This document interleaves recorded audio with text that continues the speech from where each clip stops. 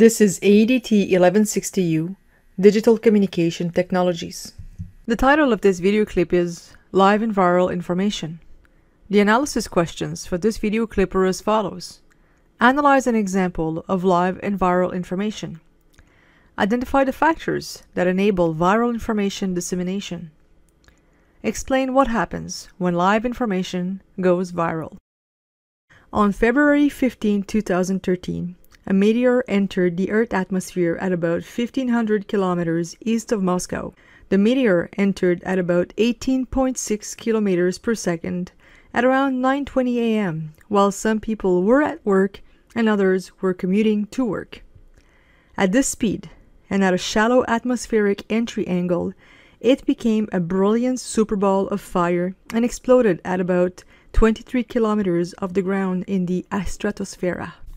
The atmosphere absorbed the energy of the explosion, but it produced more than 20 times the energy of the Hiroshima atomic bomb, and many residues reached the ground.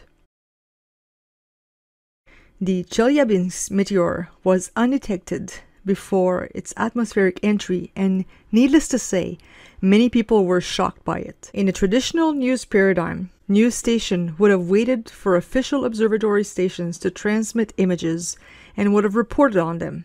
That day, when Pierre opened his computer, he saw on the Yahoo news pages that a meteor had hit close to Moscow, and some people had filmed the object from various viewpoints and uploaded their videos onto YouTube, Flickr, and Twitter. Several people on his Facebook network were talking about it, and several articles appeared on LinkedIn about what emergency response personnel can learn from the Chelyabinsk meteor. As Pierre started clicking on the links, he realized that not only the videos about the actual meteor had been uploaded, but also people were uploading videos about the shock wave, people's reaction, and even compilations of security cameras in several buildings were uploaded and appearing randomly on social networks. Such uploads happened in the minutes that followed the blast, even before the news station had access to the information. We are posting a few YouTube videos that you can consult to get more info about this event. The first video has over 38 million views. The links are in the course outline. You can also type a few keywords in your browser and you will find hundreds of comments about this event.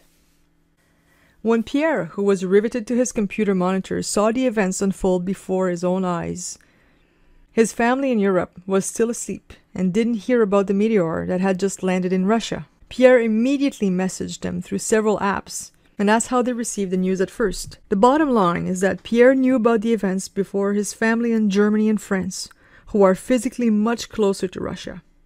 Moreover, when he sent the message to his family members, they learned about them way before the news was able to provide them with reliable information. In the light of this event, and many more, we can safely state that digital communication technologies completely change the structure of information dissemination.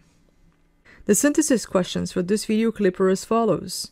What factors enable the population to disseminate information faster than the news station?